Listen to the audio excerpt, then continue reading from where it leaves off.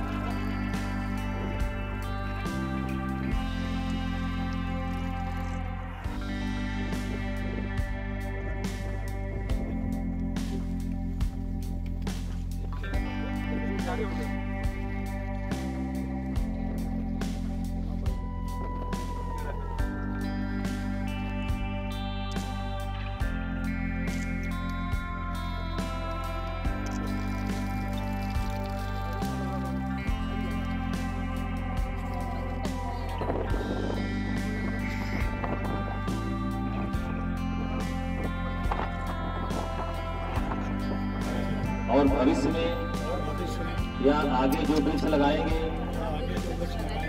उनकी रक्षा ना तो कोई पेड़ उखाड़ेंगे ना कोई पेड़ काटेंगे बल्कि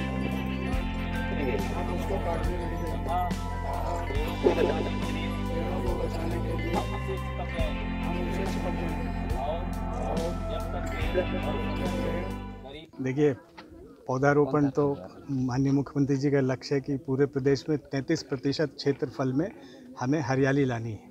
उसी के तहत पूरे प्रदेश में आज 22 करोड़ पौधों का रोपण किया जा रहा है और मिर्ज़ापुर में 31 लगभग 31 लाख का लक्ष्य है लेकिन 34 लाख से ज़्यादा लगने वाले हैं क्योंकि कल ही 34 लाख से ज़्यादा पौधों का उठान हो चुका है और आज भी कुछ जगह पर ले जाएँगे तो कम से कम 34 लाख तो ज़रूर पौधे लगेंगे।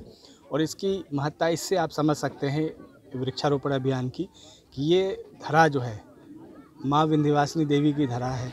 मथुरा में पैदा होकर के, नंद गोप और यशोदा के गर्भ से पैदा होकर के आकाश मार्ग से पूरी पूरी दुनिया में भ्रमण करने के बाद सबसे मनोरम स्थल उनको ये लगा। यहाँ पे उन्होंने वास किया जहाँ पे आप समझ सकते हैं उसमें कितना मनोरम स्थल रहा होगा, कितने वृक्ष रहे होंगे। एक तरफ़ माँ गंगा इस भूमि के चरण को पखारती हैं। तो आके उन्होंने यहाँ निवास किया। तो अब कालांतर में पेड़ों की संख्या कम हो गई, जंगल कट गए।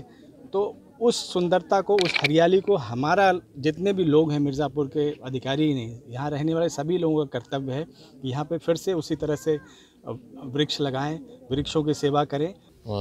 आप जैसे अभी हमारे आदरणीय अपर मुख्य सचिव साहब ने बताया कि हमारी प्रदेश सरकार 22 करोड़ वृक्ष लगाने का लक्ष्य रखा, उसी क्रम में आज वृक्षारोपण पूरे प्रदेश में किया जा रहा है। और उसी के क्रम में हमारे जनपद मिर्ज़ापुर में साढ़े इकतीस लाख का हम लोगों को लक्ष्य मिला है। लेकिन कल तक हमारे यहाँ करीब चौंतीस लाख पौधों का उठान हो चुका था तो कम से कम चौंतीस लाख तो लगेंगे ही, लेकिन हम लोगों का अनुमान है कि करीब चालीस लाख पौधे मिर्ज़ापुर में लगाए जा रहे हैं।